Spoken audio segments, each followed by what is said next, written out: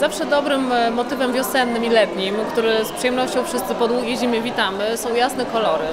E, I to jest e, zarówno biel, jak i pastele, błękity, pastelowe róże. Wszystko to, co zawsze kojarzyło nam się z wiosną, w tym roku jest zdecydowanie uprawnione do tego, żeby to nosić.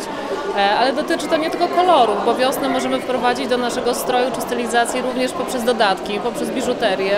W tym roku widzimy mocną inspirację naturą, czyli motyw liści, kwiatów, e, zwierząt, e, wszystkiego, co jest nam bliskie i to, czego nam w miastach dużych na co dzień brak. E, Wiosną i latem przyjemnie jest po to sięgnąć, żeby właśnie poczuć odmianę po zimie, która zwykle chowamy się w czarnych kolorach, w szarych, a niekoniecznie sięgamy po te jasne. Także myślę, że wiosennie poczujemy się nosząc coś pastelowego, jasnego, sięgając po inspirację naturą.